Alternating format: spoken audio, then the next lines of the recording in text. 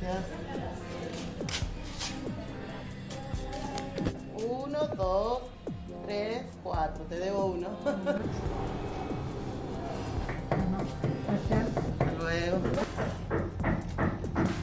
La situación social se va a ir agravando, se va a ir complejizando eh, a medida de que avance la cuarentena. Claramente desde el primer día impacta en los sectores de, que trabajan el día a día, que comen gracias al día a día.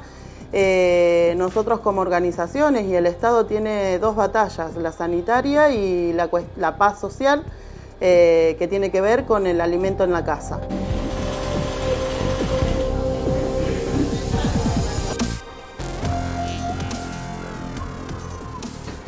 Lanzamos una campaña que se llama Un barbijo por un alimento y la idea es poder en nuestros sectores, en nuestros comedores populares, mantener abierto, eh, sostener, profundizar y donde se pueda ampliar.